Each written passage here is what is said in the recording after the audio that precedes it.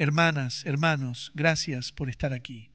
Hoy hablaremos sobre el Salmo 24, un himno de adoración que celebra la soberanía y la gloria de Dios como Rey de toda la tierra. El Salmo 24, atribuido a David, comienza con una afirmación poderosa. Del Señor es la tierra y su plenitud, el mundo y los que en él habitan.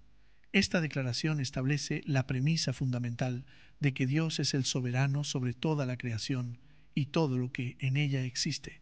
El Salmo continúa describiendo la santidad requerida para acercarse a Dios, resaltando la importancia de tener manos limpias y corazón puro. Aquellos que buscan al Señor pueden esperar su bendición y gracia. En la segunda parte del Salmo se describe una procesión triunfal de Dios entrando en su templo. Los porteros del templo levantan preguntas retóricas sobre quién puede ser digno de entrar en la presencia de Dios. Y la respuesta es clara, aquellos que son justos y buscan su rostro. El Salmo 24 concluye con una invitación a las puertas eternas para que se eleven y se abran, dando paso al Rey de Gloria. Esta escena culmina con una aclamación de que Dios es el Rey de Gloria, el poderoso en batalla. A continuación, Escuchemos este majestuoso salmo.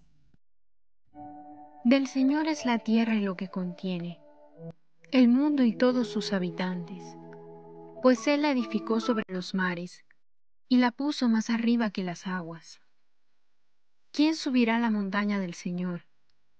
¿Quién estará de pie en su santo recinto? El de manos limpias y de puro corazón, el que no pone su alma en cosas vanas, ni jura con engaño. Ese obtendrá la bendición del Señor y la aprobación de Dios su Salvador. Así es la raza de los que le buscan, de los que buscan tu rostro, Dios de Jacob. Ea puertas, levanten sus dinteles, elévense, portones eternos, y que pase el Rey de la Gloria. ¿Quién es ese Rey de la Gloria? El Señor, el fuerte, el poderoso, el Señor, valiente en la batalla.